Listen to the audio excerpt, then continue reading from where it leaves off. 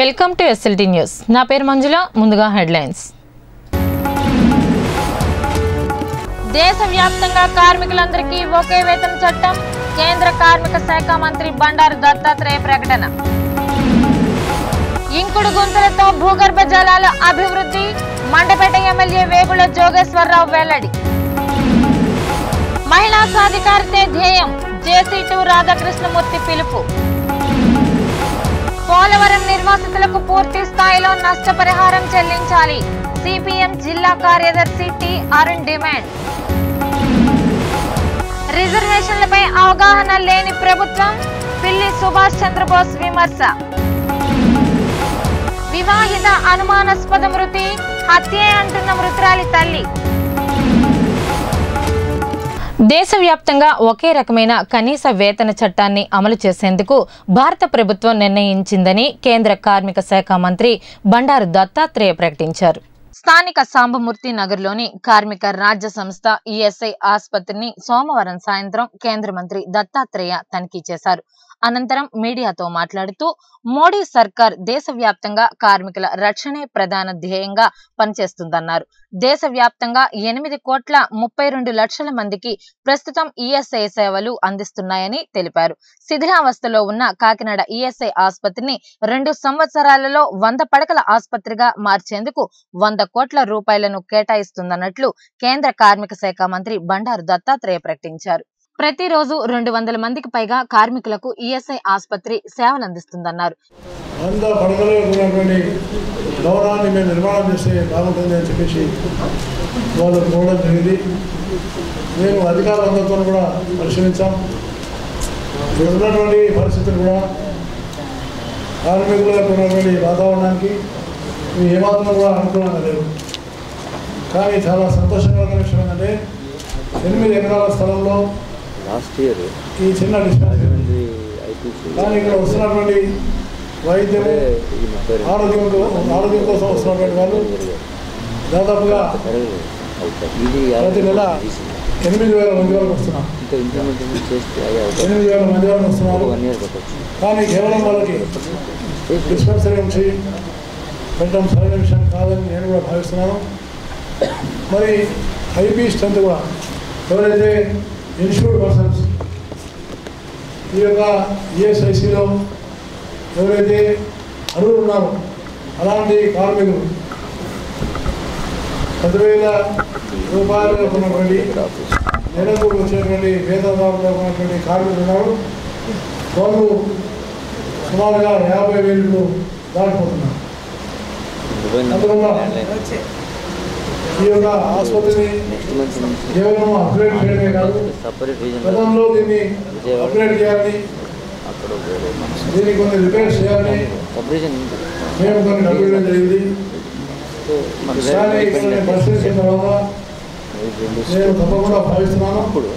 దీన్ని ఈఎస్ఐ ఉన్నటువంటి ఒక విజయవాడ వంద పడగల దగ్గర ఉన్నటువంటి హాస్పిటల్గా నిర్మాణం చేసి దీనికి ఒక కేరళ వంద కోట్ల వరకు నేను తప్పకుండా సాక్ష్యం చేస్తానని ఈ యొక్క ఈ కార్యక్రమంలో Kakinada city MLA Vanamadi Venkateswararao MLC Somu Veerraju ESI అధికారి ఆర్ఎస్ రావు కటారి రవికుమార్ తదితరులు పాల్గొన్నారు. బ్రాహ్మణుల అభివృద్ధికి రాష్ట్ర ప్రభుత్వం చిత్తశుద్ధితో కృషి చేస్తుందని బ్రాహ్మణ సంక్షేమ కార్పొరేషన్ అధ్యక్షులు ఐవై రావు పేర్కొన్నారు. రాజమహేంద్రవరంలో కోళ్ళ వీరాస్వామి కళ్యాణ మండపంలో జరిగిన బ్రాహ్మణ సంక్షేమ కార్పొరేషన్ పథకాల అవగాహన కార్యక్రమంలో ఆయన మాట్లాడారు. బ్రాహ్మణులు వ్యాపార రంగంలో ప్రగతి సాధించాలని సూచించారు. అర్హులైన బ్రాహ్మణులు బ్రాహ్మణ కార్పొరేషన్ నుండి రుణాలు పొంది వివిధ వ్యాపారాలు చేయాలని సూచించారు. నేటి పోటీ ప్రపంచంలో ఇతరులతో పోటీ పడాలన్నారు. దేవాలయాల్లో పనిచేస్తున్న అర్చకుల వేతనాలు ఇతర అలవెన్స్లు పెరిగేలా సీఎంతో మాట్లాడతానని హామీ ఇచ్చారు. చొక్కా తీసి కాల్చమని ముందుకొచ్చిన ప్రకాశం పంతులు లాంటి వారి గొప్ప మనుషులు ఉన్నారు ఆ రోజు ఆయన కాంపిటీషన్ ఆ రోజు రాలేదు. ఆయనే నిలబడ్డాడు.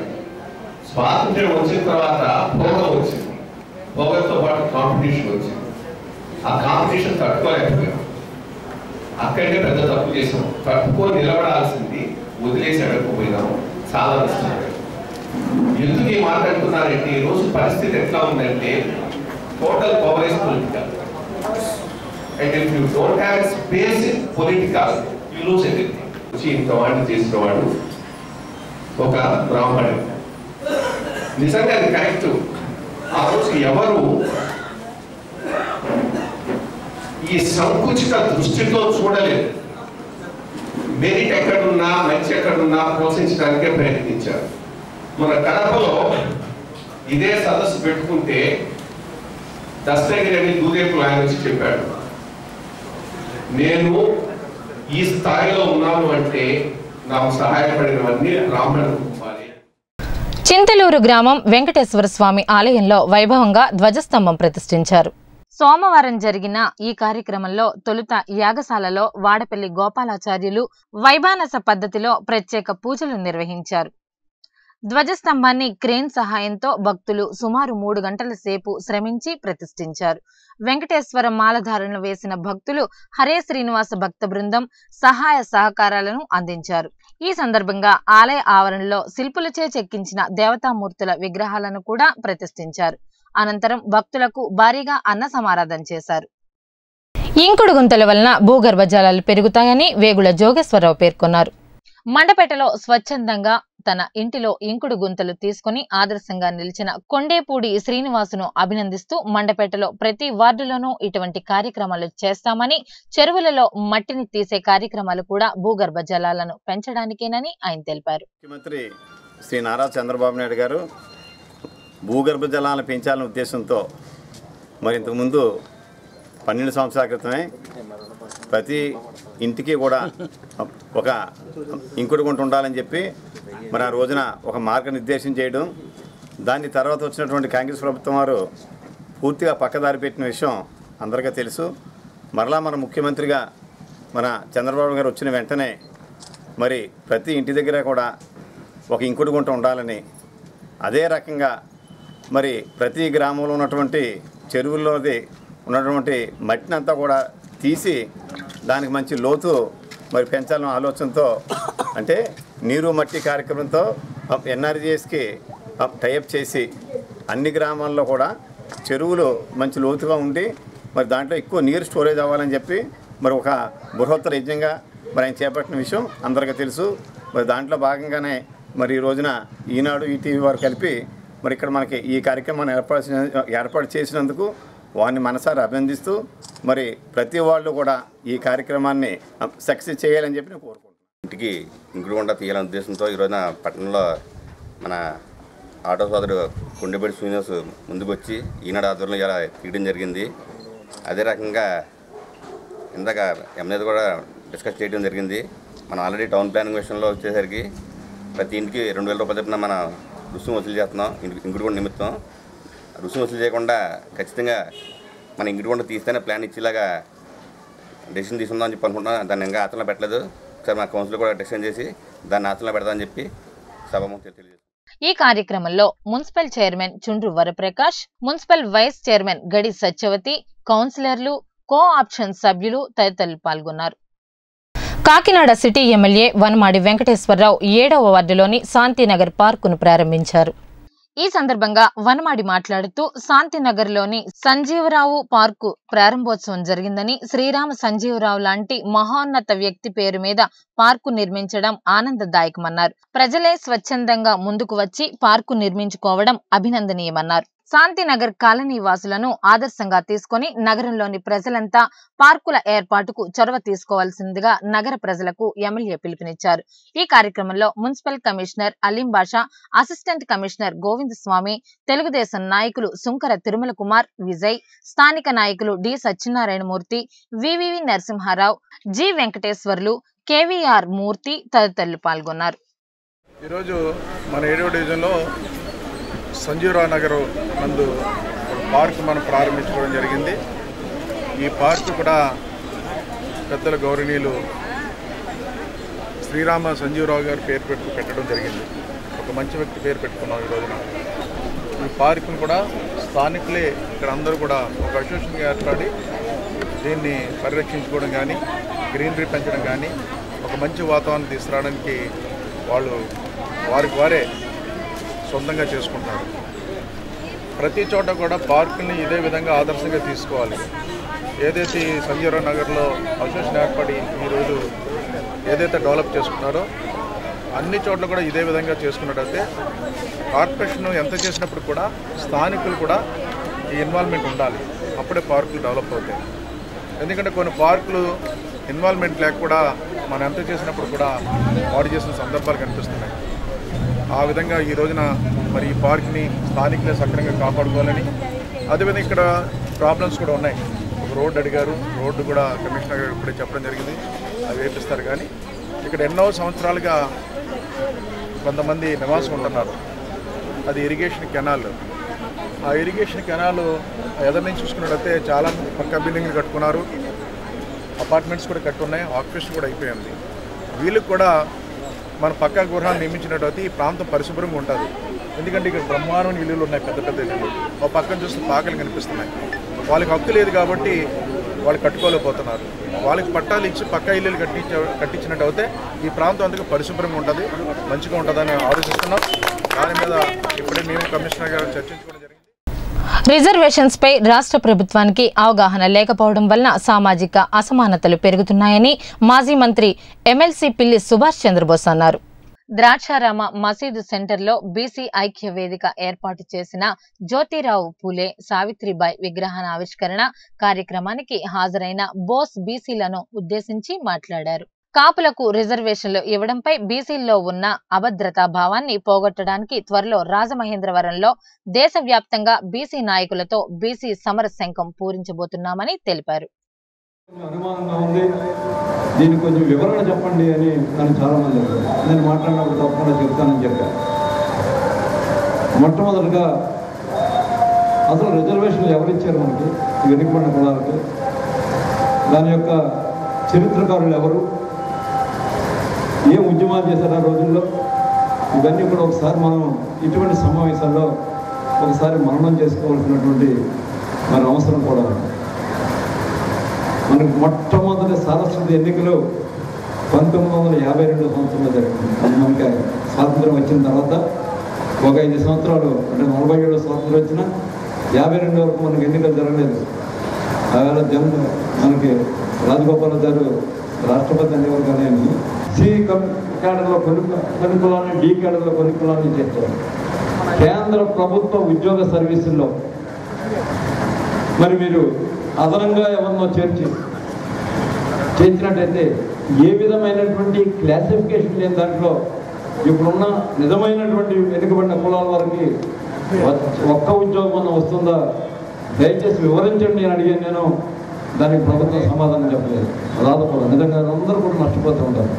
నష్టం జరగని విధంగా అని చెప్తూ ఉన్నారు కానీ ఖచ్చితంగా మాత్రం నష్టం వస్తుంది.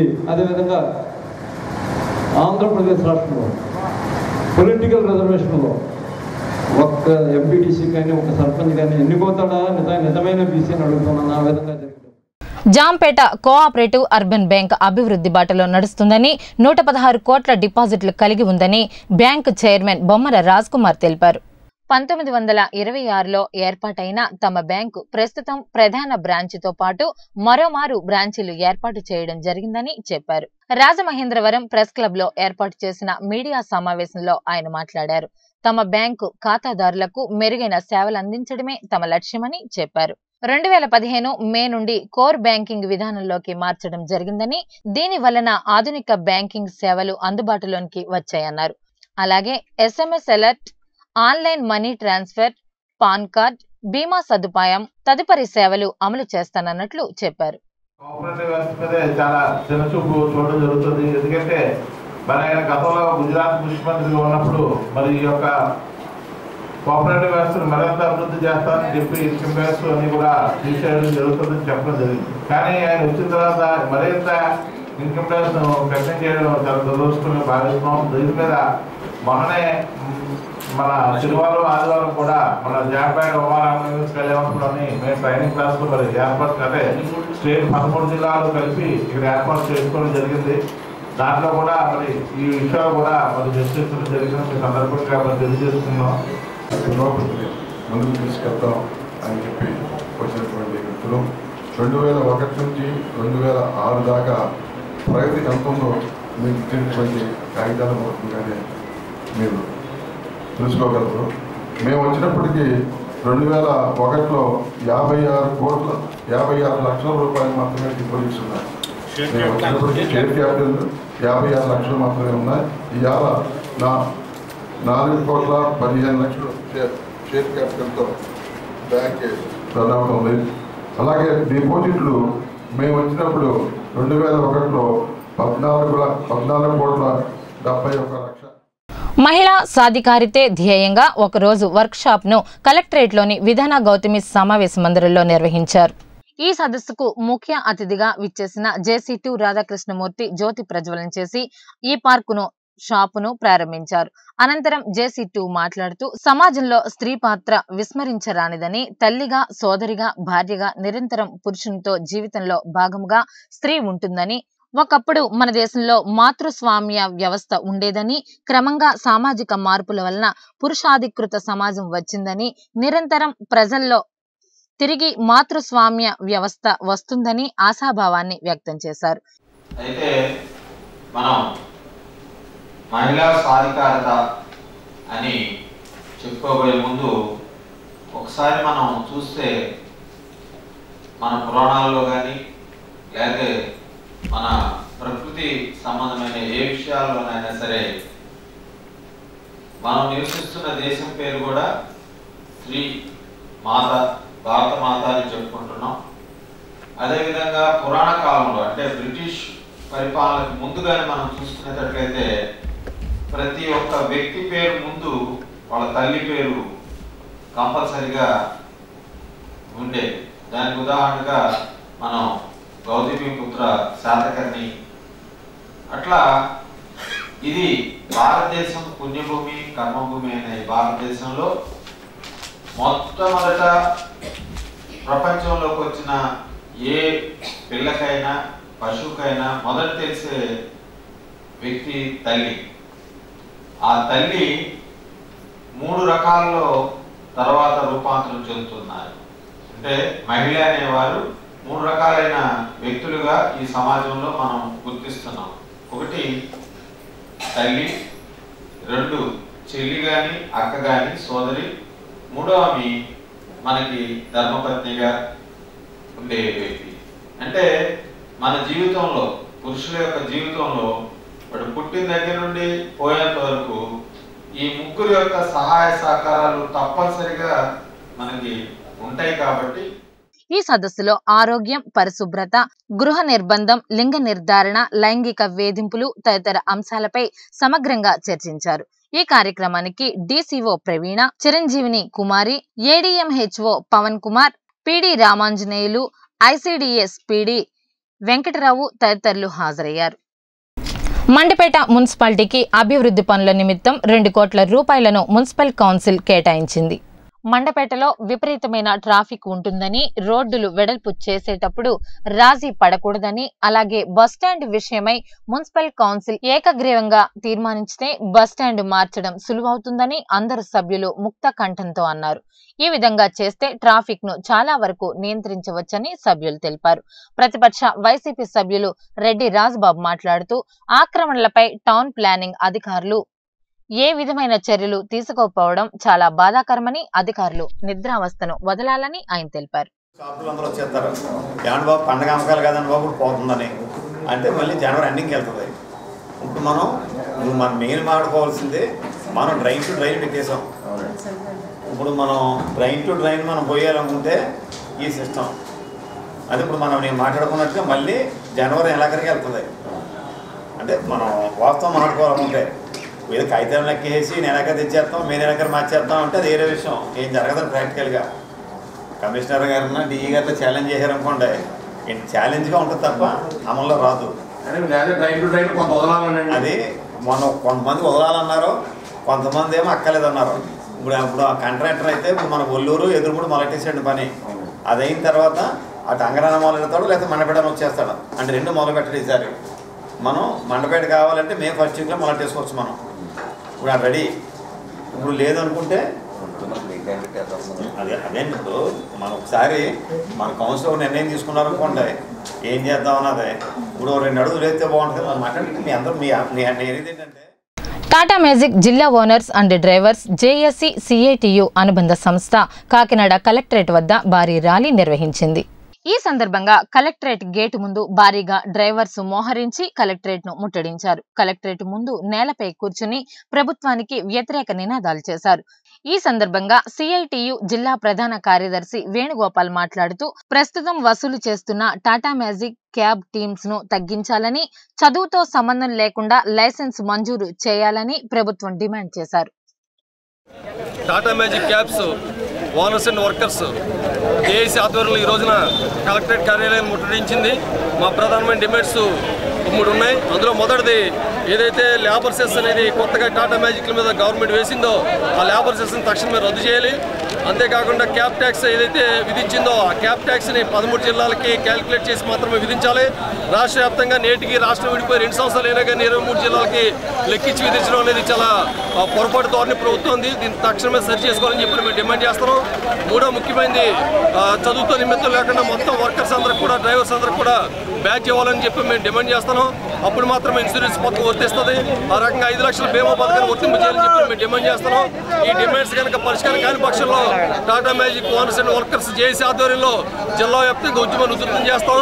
ఈ ఉద్యమానికి సిఐటిలోని అన్ని అనుబంధ సంఘాలు అందరు మన అందరు కార్మికుల్ని ఉద్యమానికి తోడు చేకూర్చి దీన్ని ఉధృతమైన ఉద్యమంగా తీసుకురాబోతున్నారు కాబట్టి తక్షణమే గవర్నమెంట్ తను చేసిన పొరపాటు చర్యలు వెంటనే వెనక్కి తీసుకోవాలని లేబర్ సెషన్ రద్దు చేయాలని చెప్పని మేము డిమాండ్ చేస్తాం రెండు వేల పదహారవ ఆర్థిక సంవత్సరానికి గాను నగదు లావాదేవీలను LIC branch manager M Sivaprasad ప్రారంభించారు. ఈ సందర్భంగా పూజా కార్యక్రమాలు నిర్వహించి ఏజెంట్లు సేకరించిన పాలసీ నగదుకు సంబంధించిన క్యాష్ కౌంటర్ నగదుకి అనుమతినిచ్చారు. ఈ సందర్భంగా ఆయన మాట్లాడుతూ ప్రతి ఒక్కరికి జీవిత బీమా పొంది ఉండాలని ఆయన తెలిపారు. Yanam life insurance corporation of India బ్రాంచ్లందు ఈ రోజున నూతన సంవత్సరం ఆర్థిక సంవత్సరానికి రెండు వేల పదహారు పదిహేడు సంవత్సరానికి గాను దసరం పూజ జరుగుతుంది. ఈ సందర్భంగా ఏజెంట్ మిత్రులందరూ కూడా ఈ పూజలో పాల్గొని అందరూ కూడా మంచి బిజినెస్తో మంచి వ్యాపారంతో ఈ చుట్టుపక్కల ఉన్నటువంటి కాజులూరు తాళరేవు యానాము ఈ మండలాల్లో ఉన్నటువంటి ప్రజలందరికీ ఇన్సూరెన్స్ సేవలు అందించడానికి మన ఏజెంట్ మిత్రులందరూ కూడా మంచి ఉత్సాహంతో పనిచేస్తున్నారు. మరి ఈ సందర్భంగా ఈ అవకాశాన్ని దృష్టిలో పెట్టుకొని ప్రతి ఒక్క కస్టమర్ కూడా ప్రతి ఒక్క వ్యక్తులు కూడా ఇన్సూరెన్స్ పరంగా ఆరోగ్యం జీవన ఆరోగ్యం అని చెప్పి హెల్త్ ఇన్సూరెన్స్ అలాగే పెన్షన్ కోసం కానీ పిల్లల చదువుల కోసం కానీ అలాగే పిల్లల పెళ్ళిళ్ళ కోసం కానీ ముందు చూపుతో పొదుపు చేసుకుంటా నేర్పడం మా యొక్క మరి ఏజెంట్స్ మా యొక్క సంస్థ యొక్క ఉద్దేశం. ప్రజలు కూడా దీన్ని గమనించి డాక్టర్ బిఆర్ అంబేద్కర్ నూట ఇరవై ఐదవ జయంతి సందర్భంగా జిల్లా వ్యాప్తంగా ఉత్సవాలు నిర్వహించాలని సిపిఐ జిల్లా నాయకులు పిలుపునిచ్చారు. ఈ సందర్భంగా జిల్లా సిపిఐ కార్యాలయంలో ఏర్పాటు చేసిన మీడియా సమావేశంలో సిపిఐ కార్యదర్శి తోకల ప్రసాద్ మాట్లాడుతూ గ్రామ గ్రామాన వాడ వాడల బాబాసాహెబ్ అంబేద్కర్ విగ్రహాలకు పూలమాలలు వేసి ఘనంగా నివాళులు అర్పించడానికి సిపిఐ శ్రేణులను సంసిద్ధం చేస్తున్నామన్నారు. ఈ కార్యక్రమంలో మధు పెద్ద సంఖ్యలో సిపిఐ నాయకులు పాల్గొన్నారు. అనేది ఒకసారి కూడా ఆలోచించాలి. ఎందుకంటే ఈరోజు డాక్టర్ బిఆర్ అంబేద్కర్ ఏదైతే ఆశయాలు చెప్పారు ఏదైతే డాక్టర్ బిఆర్ అంబేద్కర్ కలగన్నాడో ఈరోజు దా విలువలు తెచ్చడానికి ఈరోజు నరేంద్ర ప్రభుత్వం ప్రత్యేకంగా చూస్తుంది. ఈరోజు ప్రజా కళాకారులు దేశవ్యాప్తంగా ఉన్న రచయితలు కవులు అనేక మంది ఈరోజు ప్రత్యేకంగా అంబేద్కర్ మీద ఆ దళిత వర్గాల మీద సాహిత్యం మీద కూడా దాడులు చేస్తున్నారు. ఇది ఒక మన కమ్యూనిస్ట్ పార్టీ కాదు. ఈరోజు అన్ని పేపర్లో కూడా మనకి ప్రత్యేకంగా కనపడుతుంది మరి అంబేద్కర్ రింగ్ టోన్ విన్నందుకే నాలుగు కోసాలని చేసి అన్ని పత్రికల్లో మనకి రావడం జరిగింది. మరి ఆ దళిత వర్గాల వర్గాలని క్రిస్టియన్ అయిన మైనార్టీ వర్గాలని వీప్ అంటే మాంసం తినేందుకు ఇద్దరు చిన్నారుల్ని కూడా సజీవ దహనం కూడా చేసిన ఘటనలు మనకి ఈ రెండేళ్ళ మనకు కనబడుతుంది మరి మద్రాస్ ఐఐటి కానీ పూణే ఫిలిం యూనివర్సిటీ కానీ మన సెంట్రల్ యూనివర్సిటీ రోహిత్ గారి. కార్మికుల ప్రయోజనమే ధ్యేయంగా ప్రధానమంత్రి నరేంద్ర మోడీ కృషి చేస్తున్నారని కేంద్ర మంత్రి బండారు దత్తాత్రేయ స్పష్టం చేశారు. ఈ సందర్భంగా ఆయన మాట్లాడుతూ ప్రజా సమస్యల పరిష్కారమే ప్రధాన ధ్యేయంగా ప్రభుత్వం పనిచేస్తోందని చెప్పారు. రాబోయే రోజుల్లో కార్మికులు బడుగు బలహీన వర్గాల అభివృద్ధికి కేంద్రం మరిన్ని సంక్షేమ పథకాలు ప్రవేశపెడుతుందని చెప్పారు. ఈ కార్యక్రమంలో BJP MLA doctor Akula Satyanarayana TDP MLA Gorantla Butchaiah Chowdary mayor Pantham Rajani Seshasai TDP బీజేపీకి చెందిన నేతలు తదితరులు పాల్గొన్నారు. నేను తప్పకుండా తప్పకుండా దాన్ని పరిశీలించి హండ్రెడ్ బెడ్ హాస్పిటల్ ఒక వంద పడగల గది ముందు వంద పడగల గది ముందు చేసి దాన్ని ఏ విధంగా తీసుకెళ్ళాలి అనేటువంటి దాని మీద నేను నిర్ణయం తీసుకుంటాను. ఇక్కడ ఉన్నటువంటి స్థానిక పార్లమెంట్ సభ్యుడు మురళీమోహన్ గారు కూడా నాతో మాట్లాడినారు. నాతో మాట్లాడినారు. వారు కూడా రెండు మూడు సార్లు ఉత్తరం కూడా రాశారు. వారు చేయాలని కోరినారు. కాబట్టి స్థానిక శాసనసభ్యుడు సత్యనారాయణ గారు ఉషా చౌదరి గారు పార్లమెంట్ సభ్యులు అందరూ కూడా మేయర్ గారు అందరూ కార్మికులు కూడా అదే కోరుకుంటారు. కాబట్టి తప్పకుండా నేను దాన్ని పరిశీలిస్తాను. మళ్ళీ వస్తాను. ఉషా చౌదరి గారు ఇవాళ వెళ్దాం అనుకున్నాను కానీ నేను తప్పకుండా వచ్చి మళ్ళీ ప్రత్యేకంగా రాజమండ్రి ఈఎస్ఐ ఈఎస్ఐసి హాస్పిటల్ని నేను పర్యవేక్షిస్తా చూస్తాను. మెరుగైన సేవలు అందించమని నేను కోరుతాను. కానీ నేను ఈ రోజున అక్కడ ఉన్నటువంటి ముందు బిల్డింగ్ రిపేర్స్ అలాంటి వాడటానికి ఐదు కోట్ల రూపాయలు శాంక్షన్ చేసి వెంటనే వెంటనే సిపిడబ్ల్యూడి అధికారులు వాళ్ళు ఈ పనులు పూర్తి చేయాలని తక్షణమే చేయాలని దీని ఇది దీంతోనే మిమ్మల్ని సంతృప్తి చేస్తాను అనుకోదు తప్పకుండా ఇంత పెద్ద స్థలం ఉంది కాబట్టి. చైత్రశుద్ధ నవమి నాడు శ్రీరామ నవమి కళ్యాణోత్సవం పిఠాపురంలో ఘనంగా నిర్వహిస్తున్నామని ఆలయ అర్చకులు జనార్దనాచార్యులు తెలిపారు. ఈ సందర్భంగా ఆయన మాట్లాడుతూ పదిహేనవ తేదీ శుక్రవారం పిఠాపురం పుల్లయ్య కాలువ వీధిలో వేంచేసి ఉన్న శ్రీ సీతారాముల దివ్య కళ్యాణం అనంతరం అన్నప్రసాద కార్యక్రమం ఘనంగా నిర్వహిస్తామని తెలిపారు. పుల్లయ్య కాల వీధిలో కోదండ రామాలయంలో ఈ నెల పదిహేనవ తారీఖు నుంచి పదహారవ తారీఖు వరకు పదిహేడో తారీఖు వరకు స్వామివారి ఆలయంలో విశేష పూజా కార్యక్రమాలు శ్రీరామనవమి సందర్భంగా కళ్యాణోత్సవాలు అలాగే సాంస్కృతిక కార్యక్రమాలు కూడా ఏర్పాటు చేయడం జరిగింది. ఈ కార్యక్రమంలో భాగంగా పదిహేనవ తారీఖు ఉదయం తొమ్మిదిన్నర గంటలకు స్వామివారికి అమ్మవారికి విశేష కళ్యాణ కార్యక్రమం అలాగే పదహారో తారీఖు రాత్రి ఏడు గంటలకు పిఠాపురం శ్రీ నటరాజాను నృత్యనికేతన్ వారిచే నృత్య ప్రదర్శన కార్యక్రమం పదిహేడవ తారీఖు స్వామివారి ఆలయం వద్ద రాత్రి శ్రీపుష్పయాగం దంపతాంబలంలో కార్యక్రమాలు అటువంటి జరుగుతాయి. భక్తులందరూ కూడా ఈ శ్రీరామనవమి కార్యక్రమంలో పాల్గొని స్వామివారి తీర్థప్రసాదం స్వీకరించి స్వామివారి కృపకు పాత్రలు కావాల్సిందిగా కోరుతున్నాం. అంగన్వాడీలకు పేద ప్రజలకు సరఫరా చేస్తున్న బియ్యంలో రాళ్ళు పురుగులు వస్తున్నాయని కోటనందూరు గ్రామ ప్రజలు వాపోతున్నారు. పేద ప్రజలకు అంగన్వాడీలకు పోషక విలువలతో కూడిన ఆహారాన్ని అందిస్తున్నామని ప్రచారం చేస్తున్న ప్రభుత్వానికి పేదలపై ఉన్న చిత్తశుద్ధిని అవహేళన చేస్తూ కోటనందూరు చౌక డిపోల్లో పురుగులు రాళ్ళుతో కూడిన బియ్యం సరఫరా చేయడం గమనార్హం. ఈ సందర్భంగా చౌక ధరల దుకాణాల నిర్వాహకుడిని ఎస్ఎల్టీ ప్రశ్నించగా నిలువ ఉన్న బియ్యానికి పురుగులు పడుతున్నాయని దానికి తామేమి చేయగలమని ఇచ్చిన సమాధానం నివ్వెరపోయేలా చేస్తోంది. అధికారులు తక్షణం స్పందించి తమకు నాణ్యమైన సరుకులు అందించాలని స్థానికులు కోరుతున్నారు. పట్టిసీమ ప్రాజెక్టు నిర్వాసితులతో సమానంగా పోలవరం నిర్వాసితులకు నష్టపరిహారం చెల్లించాలని సిపిఎం జిల్లా కార్యదర్శి టి అరుణ్ డిమాండ్ చేశారు. చంద్రబాబు నాయుడు సీఎంగా ప్రమాణ స్వీకారం చేసి రెండేళ్ళు పూర్తవుతుందని అయితే ఇప్పటి వరకు దళితులు గిరిజనులకు ఆయన చేసినది ఏమీ లేదని విమర్శించారు. అధికారం చేపట్టిన రెండేళ్ళలో గిరిజన ప్రదేశంలో పర్యటించడం ఇదే మొదటిసారని అది కూడా కేవలం ఐటీడీఏ ప్రారంభోత్సవానికి వస్తున్నారని ఆయన తెలిపారు. చంద్రబాబు పర్యటనల పేరుతో ప్రజాధనం దుర్వినియోగం చేయడం తప్ప ప్రజా సమస్యలు పట్టించుకోవడం లేదని విమర్శించారు. చంద్రబాబు పర్యటన సందర్భంగా అరెస్టు చేసిన మాజీ ఎంపీ మిడియం బాబురావు ఇతర నేతలు ఇతర నేతలను వెంటనే విడుదల చేయాలని అరుణ్ డిమాండ్ చేశారు.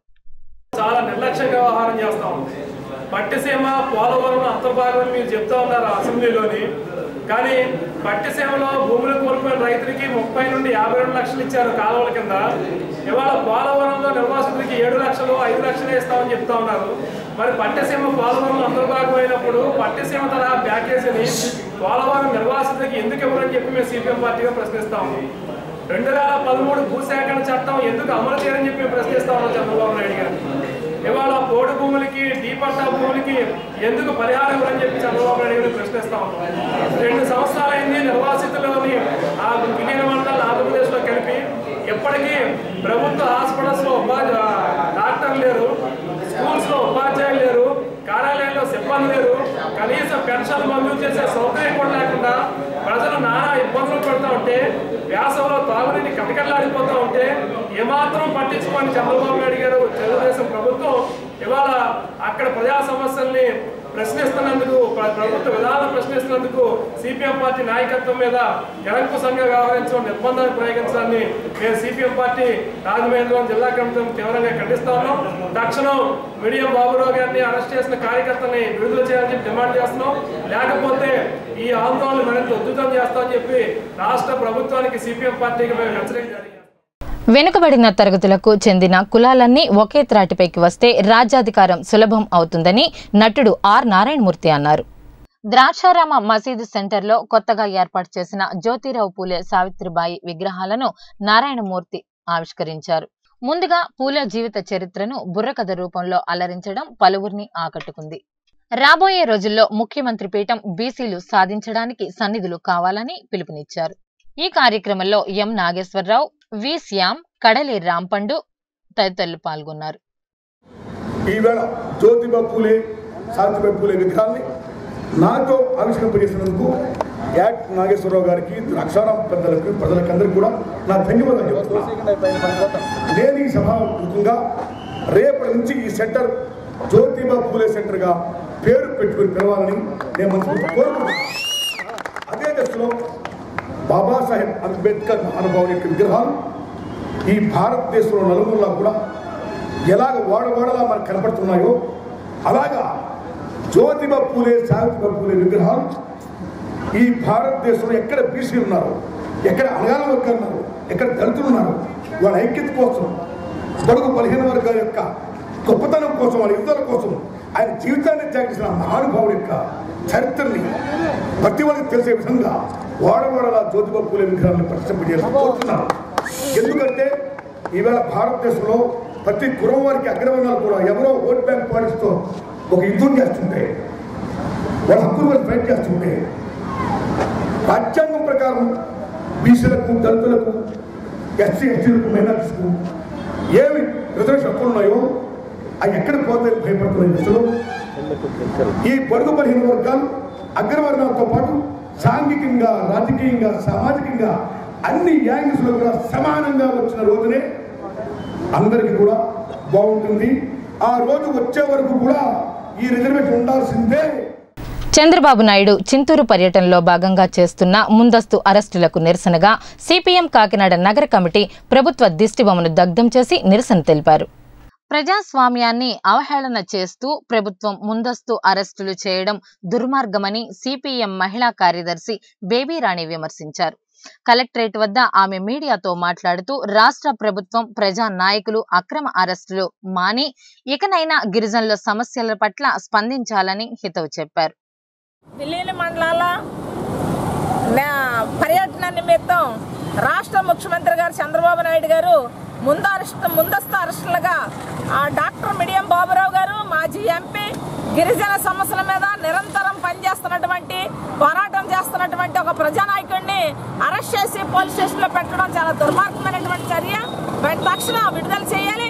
ప్రజా గొంతు నొక్కడం కోసమే ఈ రోజున అరెస్టులతో ఈ ఉద్యమాలను ఆపేయాలని ఆలోచనతో చంద్రబాబు నాయుడు గారు ఉన్నారు. ఆయన పది సంవత్సరాలు వెనక్కి పంపించేసిన ప్రజలు ఈ రోజున ఆయనకు బుద్ధి లేదు. బుద్ధి లేకుండా ఈ రోజున మళ్ళీ ఇటువంటి చర్యలకే పూనుకుంటా ఉన్నారు? కానీ ఇప్పటికైనా ఆయన బుద్ధి తెచ్చుకుని వారి వెంటనే విడుదల చేయాలి. ఎందుకంటే ఇప్పటికే గిరిజనులు అనేక సమస్యలతో సతమతం అవుతున్నారు మంచినీళ్ళ సౌకర్యం లేదు అక్కడ వైద్య సౌకర్యం లేదు. అలాగే అక్కడ పనిచేస్తున్నటువంటి ఉద్యోగులకి కార్మికులకి ఇవ్వాల్సినటువంటి వేతనాలు కూడా సక్రమంగా చెల్లించినటువంటి పరిస్థితి. అక్కడ పనిచేస్తున్న ఉద్యోగులందరూ కూడా ఏమై పరిస్థితిలో ఉన్నారు. అలాగే స్కీమ్ వర్కర్లు ఎవరైతే ఉన్నారో వాళ్ళందరూ కూడా చాలా ఇబ్బందులకు గురవుతున్నటువంటి పరిస్థితి. అలాగే సంతల్లో కూడా తప్పుడు తూకాలు అలాగే వాళ్ళు పండించిన పంట కూడా గిట్టుబడి రానటువంటి పరిస్థితి. ఇటువంటి పరిస్థితుల్లో ప్రజా సమస్యల్ని బయటకు తీసుకొచ్చి ఆ సమస్యల మీద ప్రజలు కదిలిస్తున్నటువంటి వ్యక్తి మిడియం బాబురావు గారు. కాకినాడ విద్యుత్ నగర్కు చెందిన నూకరత్నం దేవి అనే వివాహిత అనుమానాస్పద స్థితిలో మృతి చెందింది. వివరాల్లోకి వెళ్తే నూకరత్నం దేవి ఉరి వేసుకుందని ఆమె భర్త అత్తవారు చెబుతుండగా అత్తవారే చంపివేశారని మృతురాలి తల్లిదండ్రులు ఆరోపిస్తున్నారు. మృతురాలి తల్లి మీడియాతో మాట్లాడుతూ రెండున్నర లక్షల కట్నం ఇచ్చి తన కూతురికి పెళ్ళి చేశామని ఒక సంవత్సరం బాగా చూసుకున్నారని తర్వాత అక్రమ సంబంధాలు పెట్టుకుని తన కూతుర్ని చంపివేశారని తెలిపారు. తన కూతుర్ని భర్తే చంపేశాడని నూకరత్నం తల్లి ఆరోపిస్తున్నారు. వేరే అమ్మాయి సాధన అన్నది ఆ అమ్మాయి క్యాటర్ ఎక్కువ అండి ఈ అబ్బాయి మీద క్యాటర్ ఎక్కువ ఆ అమ్మాయి. ఆ అమ్మాయితోనే చాటింగ్లు చేస్తా రాత్రి ఒంటి గంటతో ఆ అమ్మాయితోనే ఎవరు చెప్పినా వెళ్ళలేదండి నేను వార్నింగ్ ఇచ్చానండి. నువ్వు చాటింగ్లు చేస్తే చాలా గొడవ అవుతుందని కూడా చెప్పానండి. పట్టించుకోలేదు. పట్టించుకోలేదండి. ఏది కూడా. మరి ఏం జరిగిందో నేను పొద్దున్న మేము కాండ్రకోట వెళ్ళి తీసుకెళ్ళి పన్నెండు గంటలకు ఇంటికి పంపించేసామండి అమ్మాయిని. పంపించేసిన తర్వాత నాకు నాలుగున్నర ఆ టైంకి ఐదింటికి వెళ్ళా ఫోన్ చేసిందండి ఫోన్ చేసి అమ్మాయి విజయవాడ వెళ్ళా బట్టలు వేసి చదువుకుంటున్నాను అతను పెళ్ళికి వెళ్తానన్నాడు అన్నదండి. ఇదే జరిగిందండి? అంటే ఏం జరిగింది ఏం జరిగి కొట్టాడండి కొట్టాడండి. కొట్టేసి తోసాడండి తోసి స్నానానికి వెళ్ళిపోయాడండి అతను. చచ్చిపోయింది? ఆ గోడకు దోపేసి వెళ్ళిపోయాడండి. వెళ్ళిపోయి స్నానం చేసి వచ్చేటప్పటికి పిల్ల కోమలో పోయిందనేసి చంపేశాడండి. పీకి టవలేసి చంపేశాడు నా కూతుర్ని. నాకు ఫోన్ తొమ్మిదింటికి చేశాడండి నైట్ తొమ్మిది పరిస్థితిలో ఉన్నప్పుడు పరిస్థితిలో ఉన్నప్పుడు ఎవరు లైట్ వాచర్ అడిగితేనే చెప్పలేదండి. చచ్చిపోయిన సెవెన్ ఆటోలు వేసుకెళ్ళారండి కరెక్ట్గా లైఫ్ లైన్కి రమ్మని ఫోన్ చేశాడండి వాళ్ళ అన్నయ్య చిన్న అన్నయ్య మీ అమ్మాయికి చిన్న దెబ్బ తగిలింది? చిన్న దెబ్బ తగిలింది మీ అమ్మాయికి రెండు లైఫ్ లైన్ కంటే తెలియదప్పటికే కెచ్చర్లో శవం అంటే డాక్టర్ మంది చచ్చిపోయిన అమ్మాయిని తీసుకొచ్చారండి.